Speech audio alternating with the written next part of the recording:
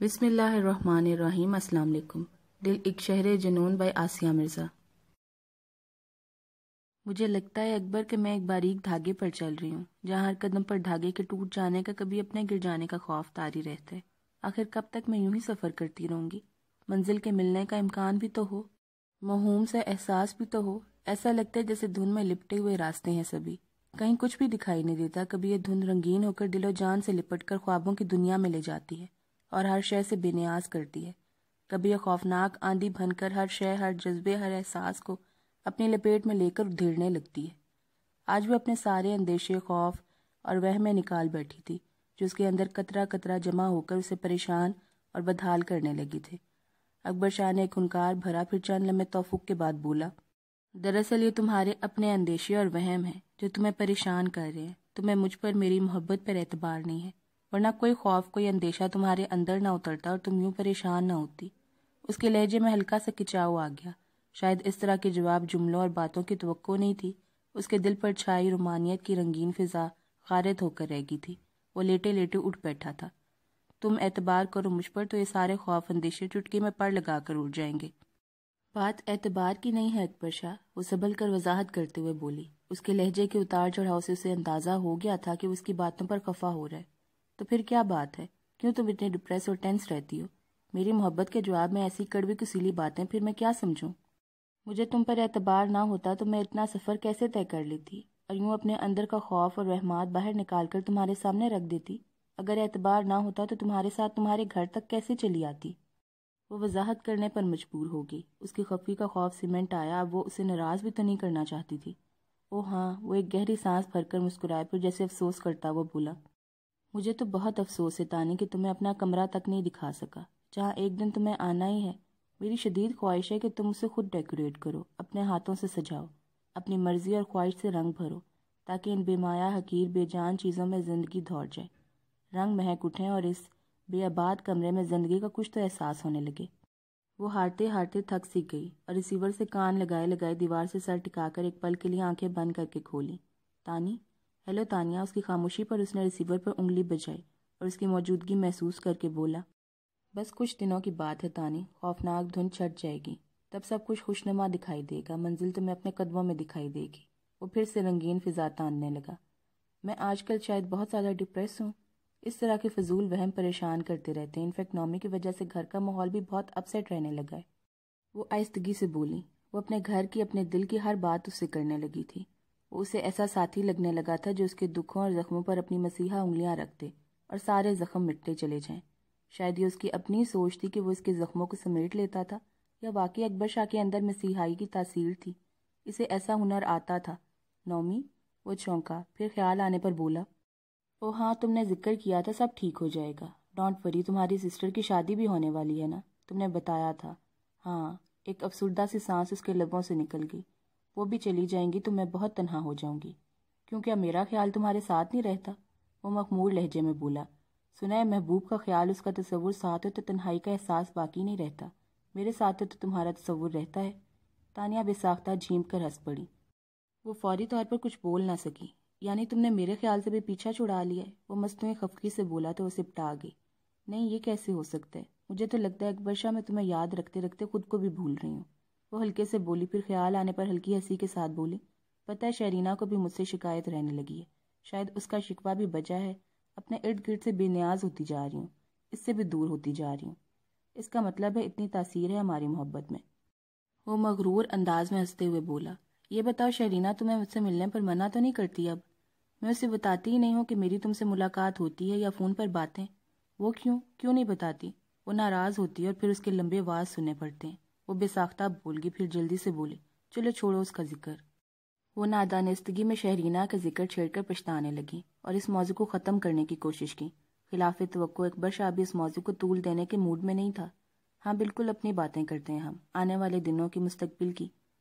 تانیہ نے سوچا، آنے والے دنوں کی باتیں دھوکا اور فریب ہی نہ ہوں۔ اور پھر فریب کی باتیں کیا کروں؟ کون جانتا ہے اس دھن کے پار اس کی قسمت میں کوئی خوشنما منزل ٹھہری ہوئی بھی ہے یا صرف شراب کا نخلستان لہرا رہا ہے؟ مگر وہ اکبر شاہ کو یہ نہیں کہہ سکتی تھی۔ ایک مہوم سی امید تو تھی۔ ایک جلتا ہوا دیا تو تھا ہی، ہوا میں رکھا ہوا ہی صحیح۔ اور جب تک امید کا دامن آخری انگلی سے بھی لپٹا رہے جینے کی تمنا کی آس رہتی ہے۔ ایک خوشی کا احساس باقی رہتا ہے جو گاہے بگاہے امنٹتا جینے کی تمنا کو سیراب کرتا رہتا ہے۔ جیسے اکبر شاہ اس کے اندر جینے کی اس تمنا کو سیراب کر رہا تھا۔ اس نے فون رکھا تو اسے لگا جیسے دل کے اندر شادابی اتر آئی ہو۔ جیسے روح کسی نئے جہان کے گلستان کی سیر کو نکل گئی ہو۔ مگر جو ہی وہ پلٹی، اس کا سحر کا جال ٹوٹ گیا۔ وہ واپس زمین پر آ گری تھی۔ نادیا آپی اسے خشک تیوروں سے دیکھ رہی تھی۔ وہ میں نے نہیں، اسی نے خود ہی کیا تھا فون۔ اسے پٹا کر وضاحت کرنے لگی۔ ہاں ظاہر ہے وہی کرے گا۔ اسی کو غرض ہے۔ انہوں نے اسے خشک انداز میں فون پر ایک اچٹی سے نگاہ ڈال کر ہلکی سانس بھری اور بغور اس کے چہرے کو دیکھا جہاں ابھی تک فریب جملوں سے امڑنے والی سرخی کے نشان موجود تھے۔ کیسی غرض؟ وہ نہ سمجھ آنے والے انداز میں نادیا آپی کو دیکھنے لگی۔ وہی غرض جو مردوں کو عورتوں سے ہوتی ہے۔ کیا اب تمہیں وضاحت سے سمجھاؤں؟ انہوں نے کچھ ایسی نظروں سے اس کی طرف دیکھا کہ وہ نظریں چرا کر اس طرح بھی انداز میں لب کاٹنے لگیں۔ ہر نہ محرم مرد کو نہ محرم عورتوں سے ایک ہی غرض ہوتی ہے، اور وہ اس غرض کی تسکین کی جد و جہد میں مصروف ہوتا ہے۔ اسی غرض سے ان سے ملتا ہے، کبھی یہ غرض انہیں دیکھ کر پوری کرتا ہے، کبھی بات کر کے اور کبھی چھو کر۔ تانیہ نے تڑپ کر انہیں دیکھا، پھر مجرمانہ انداز میں سر جھکا لیا۔ نادیا آپ اسے شکوہ کنا نظروں سے دیکھ رہی تھی۔ حوث اور محبت میں بہت تھوڑا فرق ہوتا ہے تانیہ، جو ہر عورت نہیں سمجھ سکتی، خصوصاً لڑکیاں۔ اور کبھی مرد بھی اس باریک دھاگے جتنے فاصلے کی سنگینی اور نازگی کو نہیں سمجھ پاتا، اور یوں وہ عورت محبت کے نام پر حوث کی بھیڑ چڑھ جاتی ہے۔ کبھی دانستہ، کبھی نادانستہ، مگر بہرحال بڑا نقصان سراسر عورت کے حصے میں آتا ہے۔ آپ ہی آپ ہی پلیز چپ کریں۔ تانیہ کو اپنے اعصاب کی تنابیں کھچتی محسوس ہونے لگی جیسے اب کھٹ سے ٹوٹ جائیں گی۔ وہ بیڈ پر گرنے کے انداز میں بیٹھ گئی نادیا آپی نے ایک افسردہ سانس بھری اور اس کے نزدیک فرش پر گھٹنے ٹکا کر بیٹھ گئی پھر نرمی سے اس کے گھٹنے پر ہاتھ کا دباؤ ڈالا۔ تم شہرینہ سے اسی لیے دور ہو رہی ہو کہ وہ تمہیں حقیقت کے خوفناکیاں اور بدصورتیاں دکھانے لگی ہے۔ تمہیں دوستی کی روشنی سے راستہ سجانے کے جتن کرتی ہے۔ وہ اندھی کھائی تمہیں اس کی موجودگی میں دکھائی دینے لگی ہے جو اس کی ناموجودگی میں کوئی خوشنما وادی نظر آتی ہے۔ مگر نظر آنے اور ہونے میں بہت فرق ہے تانیہ۔ خدا کے لیے اس فرق کو سمجھو۔ تمہیں ہمیشہ آنکھیں بند کر کے تصور کی اس وادی میں نہیں رہنا۔ حقیقت کی دھوپ ایک دن پڑ کر رہے گی اور تب تم اپنے آپ کو اس بدنما کھائی میں پاؤ گی تو نکلنے کے سارے رستے بند پاؤ گی۔ چپ ہو جائیں، خدا کے لیے چپ ہو جائیں آپ بھی۔ وہ زیانی انداز میں چیخ کر رو پڑی۔ تم بہن ہو میری، اس لیے دل جلتا کرتا ہے تمہارے لیے پاگل۔ انہوں نے بے اختیار اسے خود سے لپٹا لیا۔ وہ بھی اس کے سینے سے لگ کر جیسے پھٹ گئی اور اس کا سر سہلانے لگی، پھر اس کے بالوں کو چوم کر اس کا چہرہ اوپر اٹھایا۔ ذرا دیکھو آئینے میں خود کو، کیا سے کیا ہو گئی ہو؟ چہرے کی چمک، رونق، روشنی کہاں کھو گئی ہے؟ کتنا پھیکا، ویران اور پختہ چہرہ ہو گیا تمہارا۔ سارا دن سوچتی رہتی ہو، سلگتی اور تڑپتی رہتی ہو۔ ارد گرد سے کٹ کر رہ گئی ہو۔ تمہاری وہ کھلکھلاتی ہنسی، وہ خوشیاں کہاں گم ہو گئی ہیں؟ سوچو بلا محبت ویران کرتی ہے یا آباد؟ محبت تو بہار کی طرح ہوتی ہے، سوکھی ٹہنیاں پر بھی نکھار لے آتی ہے۔ تم تو خود سرسب شاخ تھی، پھر کیوں خزاں میں آئی؟ شاخ ہو کر رہ گئی ہو۔ اس کا چہرہ ہاتھوں کے پیالے میں لے کر متاثر نظروں سے اسے دیکھنے لگی۔ آنسو اب بھی اس کی آنکھوں سے تواتر سے بہ رہے تھے، مگر پلکیں جھکی ہوئی تھی سسکیاں بھرتی۔ وہ انہیں خوفزدہ ہرنے کی مانند معصوم اور بے وقوف لگی۔ یہ محبت نہیں ہے تانی، اذیت ہے۔ ایسی محبتیں کوسے قزا کی مانند ہوتی ہیں۔ چند گھڑی کے لیے حسین اور دلکش اور خیرہ کن، پھر دل کے آسمان سے یوں گم ہو جاتی ہیں جیسے کبھی تھی ہی نہیں۔ اور وہ دل اس کوسے قزا کو ڈھونڈنے میں دیوانہ ہو جاتا ہے۔ مگر وہ ہاتھ نہیں آتی، پھر نہیں ملتی۔ یہ محبت بارش میں اگنے والی کھمبیوں کی طرح ہوتی ہے۔ اسے دیکھنے میں خوشنما مگر زہریلا پھل۔ اسے چکھنے والا عمر بھر تڑپتا رہتا ہے۔ نہ جیتا ہے، نہ مرتا ہے۔ تو پھر یہ محبت کیا ہے؟ کیوں اس کا اتنا چرچا ہے؟ یہ دلوں میں کیسے اور کیوں گھر کر جاتی ہے؟ کیوں نکل نہیں جاتی؟ آکٹوپس کی طرح کیوں چکر لیتی ہے؟ وہ تڑپ کر ان کے سینے سے ٹکرانے لگی۔ محبت تو بہت پیارا جذبہ ہے، مگر اس کا خوشکن سلسلہ کسی بھی غیر محرم رشتے سے نہیں جڑتا۔ نہ محرم سے ہونے والی محبت بے جڑ اور زمین پر بے موسم اگنے والے پودے کی مانند ہوتی ہے۔ کسی بھی تیز آندھی اور مخالف ہوا سے اکھڑ جانے والا پودا۔ انہوں نے اسے نرمی سے سنبھال کر کرسی کی پشت سے لگا کر بٹھا دیا اور اس کا ہاتھ پکڑ کر تھپکتے ہوئے بولی، محبت بہت بھرپور ہوتی ہے اور عورت کو اس کے محرم مرد سے ملتی ہے، اپنے بچوں سے ملتی ہے اور یہی محبت عورت کا مکمل بناتی ہے۔ اس کے نسوانی وقار اور پاکیزگی کو قائم رکھتی ہے، اسے آسودہ رکھتی ہے۔ یہ راستوں میں آنے والے کچے صاحبان ہیں جو کبھی عورت کو تحفظ اور آسودگی نہیں دے سکتے۔ جہاں ٹھہرنا ہی نہیں چاہیے، گزر جانا چاہیے۔ یہ شراب ہے، آکٹوپس ہے، جو ہر گر جانے والے کو جکڑ لیتا ہے۔ جس طرح مجھے اس کے لب ہولے سے کپ کپ آئے۔ نادیا نے دیکھا وہ دونوں ہاتھ گود میں رکھے مجرمانہ انداز میں سر جھکائے بیٹھی تھی۔ پھر ایک گہری سانس بھر کر اپنی انگلیوں سے رخساروں پر بہنے والے پانی پونچھتے ہوئے ان کی طرف دیکھتے ہوئے بولی، آپ کی یہی باتیں تو میرے پیروں میں زنجیر ڈال دیتی ہیں، ورنہ شاید میں کب کی پستی میں اتر چکی ہوتی۔ نادیا آپی نے اس کا ہاتھ اپنے ہاتھ میں لے کر نرمی سے دبایا۔ نہیں، یہ میری باتیں نہیں ہیں۔ تمہارے اندر کی شفاف، پاکیزہ اور بردبار لڑکی ہے، جس نے تمہیں پستی میں نہیں گرنے دیا۔ سچائی کی روشنی تھوڑی بھی ہو تو گہرے سے گہرے اندھیرے کا سینہ پھاڑنے کی طاقت رکھتی ہے۔ تانیہ نے ان کے کندھے پر سر ٹکا لیا۔ کبھی بھی اپنے دل کو نفس کے منہ زور سیلاب میں تنکے کی طرح بہنے مت دینا۔ نفس منہ زور بے لگام گھوڑے کی مانند ہوتا ہے۔ دل کے شہ سوار کو کہو کہ وہ عقل کی لگام میں تھامے رکھے، ورنہ منہ زور گھوڑا منہ کے بل گرا دیتا ہے۔ وہ اس کا سر تھپکنے لگی۔ اسے سکون مل رہا تھا دل کے بھڑکتے علاؤ میں جیسے ٹھنڈے چھینٹے پڑ رہے تھے۔ اس کی آنکھ فجر کے بعد ہی لگی تھی کہ فون کی گھنٹی سے کھلی۔ اس نے ریسیور اٹھانے سے پہلے وال کلاک پر نظر ڈالی، جہاں صبح کے نو بج رہے تھے۔ تام اسے ایسا لگ رہا تھا جیسے ابھی آنکھ لگی ہو۔ اس نے گنودگی کے عالم میں ریسیور اٹھا کر ہیلو کہا۔ تو دوسری طرف مردان علی شاہ کی سرسراتی آواز سنائی دی۔ ہیلو بھتیجے، بڑی خوشی ہوئی اس انکشاف سے کہ تم میرا ہی خون نکلے۔ مگر اس میں اتنا ڈرامہ رچانے کی ضرورت کیا تھی؟ اس نے ایک طویل قسم کی سانس بھر کر سر جھٹکا اور ریسیور پر ایک نکاح ڈال کر ملائمت سے بولا، بہت شکریہ مجھے بتیجہ تسلیم کرنے کا۔ اور رہی بات ڈرامہ کرنے کی تو ہم سب یہاں تماشائی ہی نہیں، سوانگ رچانے والے بھی ہیں۔ شیکسپیئر کے مطابق تو دنیا ہے ہی ایک سٹیج اور ہم سب اداکار۔ اس لیے میں تو محض اپنا کردار ادا کر رہا ہوں اس سٹیج پر۔ مگر باوجود اس کے میں خود کو آپ جتنا بلند پائے کر ڈرامے باز تسلیم نہیں کرتا۔ میں تو طفل مکتب ہوں آپ کے سامنے۔ مردان علی شاہ نے ایک ہنکار بھرا ولید کو محسوس ہوا وہ اپنے ٹیمپر کو جیسے کنٹرول کر رہے ہوں۔ بہرحال میرے لیے دھچکا ہے۔ میں کئی دن پہلے سے آنے والے اس کچے کو محسوس کر چکا تھا۔ وہ لفظ کچے پر قدرے زور دے کر بولے، پھر ہلکی تو مسکرانہ ہنسی کے ساتھ بولے تو اب تم اخبارات میں میرے خلاف مہم شروع کرنے کے انتظامات کر رہے ہو۔ میرا خیال ہے ٹریلر تو آپ دیکھ ہی چکے ہیں۔ وہ بھی بلا تعمل اطمینان سے بولا، آئندہ کا لاہ عمل آپ کا رد عمل دیکھ کر طے کریں گے۔ کیا مطلب؟ مردان علی شاہ کی آواز میں ہلکی حیرت کی کراہٹ تھی، مگر پھر وہ خود کو مضبوط ظاہر کرنے کے لیے اس حیرت کو سمیٹ کر ایک دم ہنس پڑے۔ تم واقعی طفل مکتبی ہو۔ نہیں جانتے کہ اخبارات اور صحافیوں کو دھونس، دھمکی اور لالچ میں لانے میں دیر نہیں لگتی۔ یقیناً مگر ابھی بھی اللہ کے فضل سے کچھ اخبارات اور دیانتدار صحافی حضرات موجود ہیں جو اس پیشے کی عزت کو سنبھالے ہوئے ہیں۔ آپ انہیں اپنے تمام تر مالی وسائل سے بروئے کار لا کر بھی خرید نہیں سکیں گے۔ خیر، میرا ایسا کوئی ارادہ ہے بھی نہیں، وہ ایک دم بدلے ہوئے لہجے میں بولے۔ تم میرے اپنے خون ہو، ہم دونوں آمنے سامنے بیٹھ کر بات چیت کر سکتے ہیں۔ اگر تمہارا مقصد جائیداد کا اصول ہے، تو اس پر بھی بات ہو سکتی ہے۔ ولید کو لہجہ بھر اپنے اصاب کی تنابیں کھینچتی ہوئی محسوس ہونے لگیں، جیسے کوئی لاسٹک کو اپنے دونوں ہاتھوں کی انگلیوں میں لپیٹ کر کھینچے، پھر کھٹ سے چھوڑ دے۔ اسے اپنے اصاب اسی لاسٹک کی طرح جھنجھناتے ہوئے محسوس ہوئے۔ کہتے ہیں، واقعات اہم نہیں ہوتے، یادیں انہیں اہم بنا دیتی ہیں۔ مگر میرے لیے وہ واقعہ بھی اتنا ہی اہم اور ناقابل فراموش ہے جو دل پر نہیں، روح پر بھی نقش ہے۔ اس کی آواز میں تلخی امنڈ آئی۔ ساتھ اس کے ذہن کے دریچے میں ماضی سے اٹھتے دھوئیں کا ریلا سا امنڈ آیا، جو دل کے اندر تک بھر گیا۔ دولت کا حصول میرے لیے کوئی مشکل نہیں ہے۔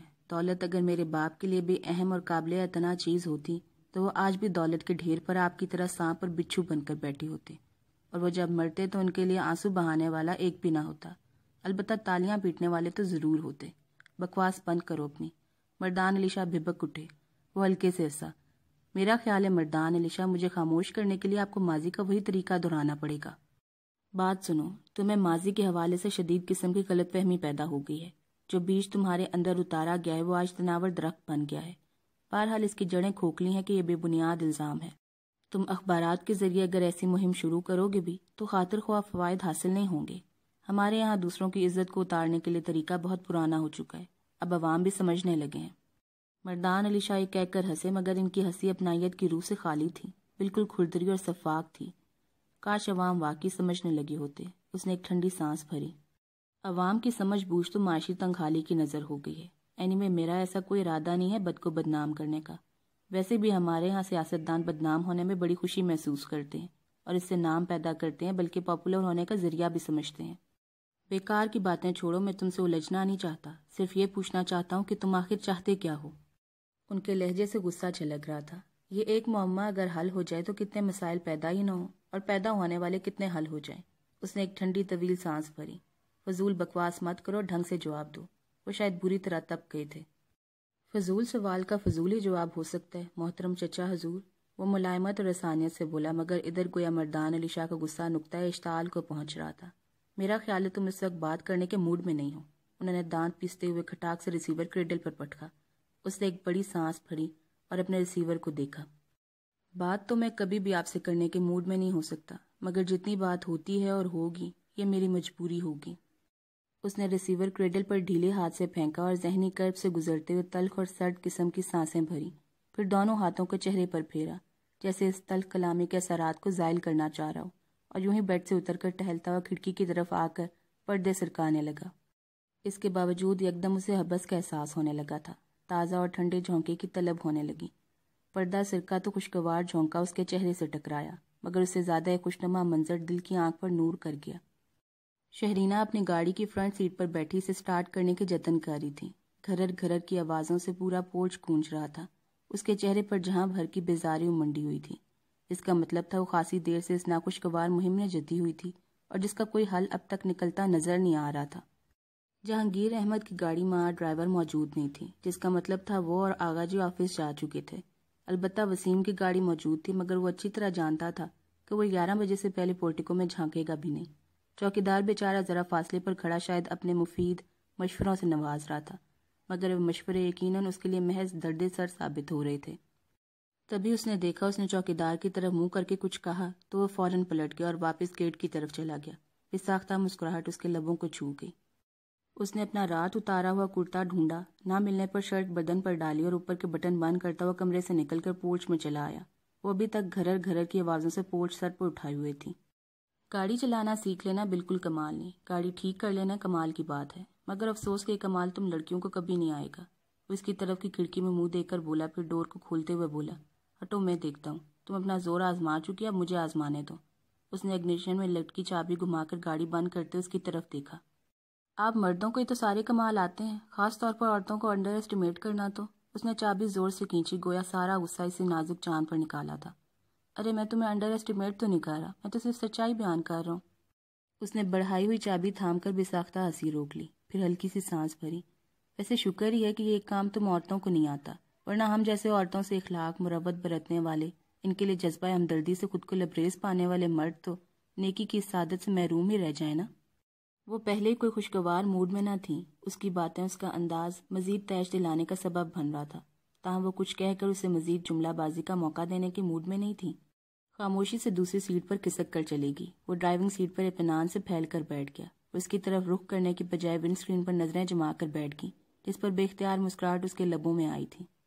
ہلکے براؤن اور بلیک کنٹراسٹ کے سوٹ میں وہ شاید یونیورسٹی جانے کے لیے تیار ہوئی تھی۔ بلیک سکارف اس نے سر پر باندھ رکھا تھا، دھلا دھلا صاف چہرہ۔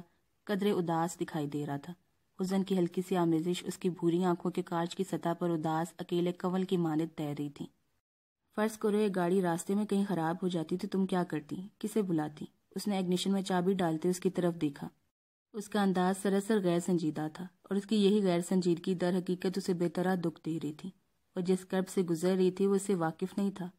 کم از کم آپ کو تو ہرگز نہ بلاتی، اور رکھائی سے بولی اچھا اس نے مصنوعی چوکنے کی ایکٹنگ کی۔ تو پھر کسے بلاتی؟ مکینک کو، وہ رخ موڑ گئی۔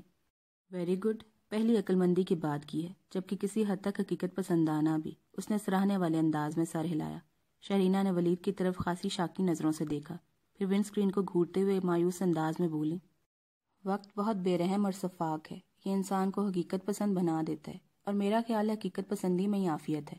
یہ انسان کو بہت سے تجربے سے پہلے مضبوط بنا دیتی ہے۔ ولید نے بھووں کو ہلکی سے جنبش دے کر خاصی بدلی نظروں سے اس کی طرف دیکھتے ہوئے اثر نوز کے چہرے کا جائزہ لیا۔ اس کی نگاہیں اب بھی ونڈ اسکرین پر مرکوز تھیں۔ ولید نے محسوس کیا وہ دانستہ اسے نظریں ملانے سے گریز کر رہی تھی۔ صبح صبح اتنا گاڑا فلسفہ صحت کے لیے اچھا نہیں ہوتا۔ اچھی بات ہے کہ تم اچھی کتابیں پڑھنے لگی ہو، مگر اس کی ٹائمنگز چینج کر لو تو زیادہ اچھا ہوگا۔ یہ کہہ کر اس نے بے ساختہ متاثفانہ سانس بھری۔ وہ لب دانتوں میں دبا کر اسے سخت، سلگتی اور خفکی بھری نظروں سے دیکھنے لگی میں نے پڑھا ہے کہیں کہ جب کوئی خلوص دل سے کسی کو مشورہ دیتا ہے، سمجھانا چاہتا ہے، تو اسے کچھ ایسی حبس آلود گرم نگاہوں کا سامنا کرنا پڑتا ہے۔ اس نے ایک اور ٹھنڈی سانس بھری۔ آپ سے اگر گاڑی ٹھیک نہیں ہو سکتی، تو برائے مہربانی نیچے اتر جائیے۔ وہ چڑھ کر بولی، گاڑی کیا ہے تو اپنے اختیار کی چیز ہے، دو منٹ میں ٹھیک ہو جائے گی۔ اس نے چٹکی بجائے ہلکے سے اور اس کی طرف دیکھا۔ مگر دل کا کیا ہو کہ یہ اپنے اختیار سے باہر ہوتا ہے؟ یہ کیسے اور کس طرح ٹھیک ہو سکتا ہے؟ وہ قدرے اس کے سمت جھکا، اس کے ہونٹوں کی تراش میں وہ دستور خفیف سے مسکراہٹ موجود تھی۔ لہجے بھر اسے اپنا دل اچھلتا ہوا محسوس ہوا۔ وہ جلدی سے نگاہوں کا زاویہ بدل گئی۔ میرا خیال ہے بیٹری کے ٹرمینل لوز ہو گئے ہوں گے۔ اس کے اطمینان کو غارت کرتا ہوا اطمینان سے دروازہ کھول کر نیچے اتر گیا۔ پھر فرنٹ ہیڈ کو کھول کر چیک کرنے لگا۔ وہ گمسم سے ونڈ اسکرین کے پار اسے تکتی رہ گی اس کے جسم میں ایک لہر سی دوڑ گئی تھی، مگر یہ کسی تسکین کی نہیں تھی، شادمانی کی نہیں تھی۔ استراب کی تھی، وحشت کی تھی۔ عجیب امید اور مایوسی کے دریا میں وہ بہری تھی۔ کبھی اسے اپنا اور ولید کا تعلق وہم کی مانت دھندلا محسوس ہوتا، تو کبھی حقیقت کی طرح روشن۔ گویا ایک لہر اچھالتی تو دوسری مایوسی کے اتھا میں ڈبو لیتی تھی۔ عجیب روشنی اور تاریخی کا ایک کھیل تھا جس سے اس کا دل از خود کھیل رہا تھا، یا تقدیر کھلا رہی تھی۔ سر جھٹک کر اس نے ایک ہلکی سی سانس بھری اور اس پر ایک نگاہ ڈالی جو ہیڈ پر سر جھکائے شاید بیٹری کے تار جوڑا تھا۔ بغور دیکھنے پر بے ساختہ خفیف سے مسکراہٹ اس کے لبوں کو چھو گئی۔ وہ ڈھیلی ڈھالی شلوار کے اوپر شرٹ پہنے ہوئے تھا، جس کے اوپر کے دو بٹن بند تھے۔ بکیا اندر بنیان کے موجودگی کی وجہ سے شاید بند کرنے کی زحمت نہ کی گئی تھی۔ آستین کے بٹن بھی کھلے ہوئے تھے، جس سے دائیں ہاتھ کے کف لٹک رہے تھے۔ بائیں ہاتھ کی آستین البتہ فولڈ کی ہوئی تھی، جس سے اس کی مضبوط کلائیاں رونما ہو رہی تھی۔ وہ ایسے حلیے میں عموماً کم ہی دیکھنے میں آتا تھا، تاہم کبھی کبھی وہ ایسی لاپرواہی برت بھی لیتا تھا۔ براہ راست پڑنے والی دھوپ اس کے چہرے پر جمی ہوئی سرخی میں اضافہ کر رہی تھی۔ اس کے ہاتھ کی مضبوط انگلیوں کے جوڑ عموماً سرخی رہتے تھے اور حرکت کے باعث یہ سرخی بڑی ہوئی محسوس ہو رہی تھی۔ اس نے بالکل اچانک سر اوپر اٹھا کر ونڈ اسکرین کی طرف دیکھا تھا تو اسے محویت سے اپنی طرف دیکھتے پا کر اس کی روشن آنکھوں کی تابناکی میں اضافہ ہو گیا۔ کیونکہ وہ جلدی سے نظریں چرا گئی تھی، مگر وہ اس کی یہ چوری بہت پہلے پکڑ چکا تھا جسے وہ انجان تھی۔ تار تو وہ کب کا جوڑ چکا تھا، اب یوں ہی کھڑا محض اس کی محویت سے لطف اندوز ہو رہا تھا۔ تمہاری گاڑی بھی تمہاری طرح ضدی اور خود سر ہے۔ خیر جس طرح ضدی اور خود سر بلا کے بے وقوف ہوتے ہیں اسی لیے اپنی بے وقوفی کی وجہ سے پکڑے جاتے۔ ہیں میں نے بھی اس کی کمزوری پکڑ لی اور اسے دو منٹ میں ٹھیک کر دیا۔ اب ذرا سٹارٹ کر کے دیکھو۔ وہ اس کی کھڑکی کی طرف آ کر خفیف سے جھکا۔ اس کی آنکھوں میں مسکراہٹ تھڑک رہی تھی۔ وہ بے عنوان سے شرمندگی محسوس کر کے رہ گئی۔ اس کے چہرے پر امڑنے والی سرخی کی رہر بہت واضح تھی۔ وہ اسی طرح پلکیں جھکائے ڈرائیونگ سیٹ پر کھسک گئی۔ میرا خیال ہے ابھی تمہیں تنگ نہیں کرے گی اور تمہیں اس مکینک کے علاوہ کسی دوسرے مکینک کی ضرورت نہیں پڑے گی۔ وہ لب چبا کر رہ گئی اور ایگنیشن میں موجود چابی گھمائی تو گاڑی معمول کے مطابق سٹارٹ ہو گئی۔ بے ساختہ ایک تمانیت بھری سانس اس کے لبوں سے خارج ہوگی اس نے بس ایک پل کے لیے چہرہ موڑ کر اس کی طرف دیکھا۔ وہ دونوں ہاتھ کھڑکی میں رکھے سر اندر کیے ہوئے سے ہی دیکھ رہا تھا۔ ویسے بڑے افسوس کی بات ہے، تم نے مجھے کل کے کامیاب جلسے کے مبارک بات بھی نہیں دی۔ وہ ایک دم یاد آنے پر بولا اور متاسفانہ انداز میں سر ہلا دیا۔ دیکھا تھا تم نے لوگ جوک در جوک اس جلسے کو کامیاب بنانے چلے آئے تھے اور مجھے مبارک بات دے رہے تھے مگر افسوس کہ تم سے اتنا بھی نہ ہو سکا۔ اس کے انداز میں ملامت تھی۔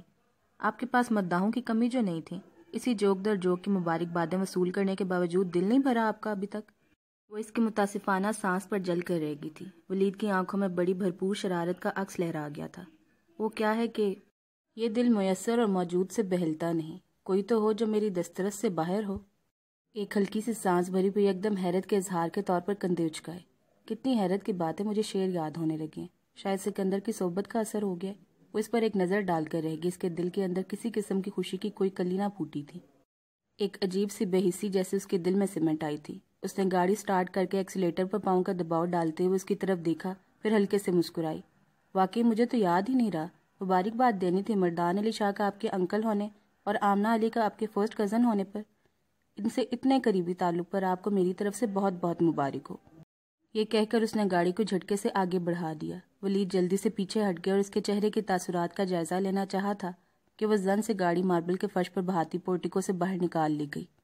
وہ اپنی جگہ کھڑا کا کھڑا رہ گیا تھا۔ اس کے دل کی کیفیت کچھ ایسی ہوئی جیسے کسی نے اس کے زخمی تاروں پر ہاتھ مار دیا ہو۔ مگر یہ کیفیت چند لمحے ہی رہی۔ اس نے ایک گہری سانس بھر کر سر جھٹکا اور چہرے پر ہاتھ پھیرتا پلٹ کر اندر کی طرف بڑھ گیا۔ اس نے سڑک پر گاڑی لاتے ہوئے رفتار آہستہ آہستہ کم کر دی اور سر جھٹک کر اس تکلیف دہ احساس سے چھٹکارا پانے کی کوشش کرنے لگی، جو اس کے جسم کی کھال بنتا جا رہا تھا۔ ہماری سوچیں، ہماری خواہشات پر دراصل ہماری آدھی سے زیادہ پریشانیاں ہوتی ہیں۔ خواہشات کو پڑھنا دے کر ان کی پرواز کو روک دیا جائے۔ ذہن کو مصروف کر کے تکلیف دہ سوچوں سے چھٹکارا پایا جا سکتا ہے۔ دکھ ہماری قسمت میں اگر لکھے ہیں، تو ان سے دو چار ہونے کے بجائے ان سے چھٹکارا پانے کا اختیار تو ہمارے ہاتھ میں ہے۔ مگر کمزور اصاب کے لوگ اسے چھٹکارا پانے کی جد و جہد نہیں کر سکتے۔ مضبوط اصاب کے مالک اس میں پچاس فیصد کامیاب ہو ہی جاتے ہیں۔ اور اس نے سوچا کہ اسے بھی مضبوط اصاب کے مالک لوگوں کی فہرست میں شامل ہو ہی جانا چاہیے۔ یوں بھی دانا کہتے ہیں کہ مصیبت اور غم سے بچنے کا یہی طریقہ ہے کہ آپ کے پاس وقت نہ ہو۔ اس نے پکا قصد کر لیا کہ یونیورسٹی سے واپسی پر لائبریری میں زیادہ وقت گزارے گی تاکہ امتحانات کی تیاری بھی ہو سکے اور بیکار کے خیالات سے نجات بھی پائی جا سکے۔ اس ارادے کے ساتھ ہی اسے اپنے اندر چھائی وحشت چھٹتی محسوس ہونے لگی۔